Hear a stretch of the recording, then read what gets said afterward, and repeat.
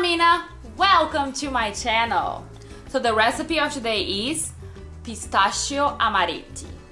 So amaretti is an Italian biscuit made of egg white, sugar, and almond milk, basically.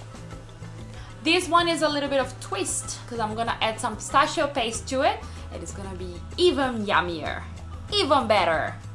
So basically it's a meringue that we're gonna make today and we're gonna fold into the almond meal with the pistachio paste. In case you don't have pistachio paste whatsoever, which I know some places is a little bit hard to find, you can do with only the almonds because that's the traditional one because amaretti is an almond, almond biscuit. Okay? So if you don't have pistachio paste, just do the plain one and taste it. It's yum the same way. But I'm in love with pistachios, so for me my favorite amaretti is the pistachio amaretti. Okay?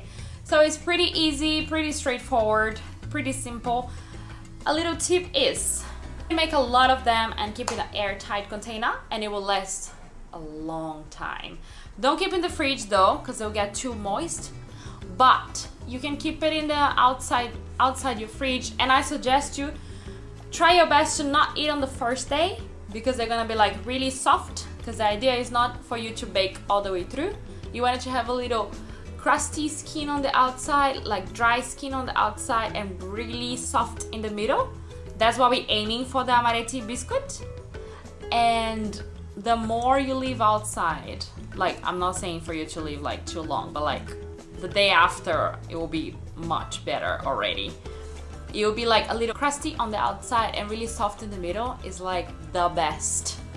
It's great for you to have with coffee or tea or just like a snack. I love to have a snack, like a sit down watching a movie and just like go for it. It's really yum, really easy, and I bet you all gonna like it okay? Wait, wait, wait, wait, wait, wait, wait, wait, wait. Before anything else, subscribe to my channel, leave me a like, and let me know, have you ever tried amaretti biscuits? If you did, tell me down below where did you try? Was it in Italy? Then which country did you try? And if you like it or not. Okay, let me know. And also, don't forget to subscribe to my Instagram, Mina underline breads to have some sneak peeks as stories and all the recipes are already done in the channel on the feed. Okay? If you have any suggestion or any question on the channel, you can leave me down below in the comments or DM me on Instagram and I will answer you all. Okay? But now, let's go to the recipe.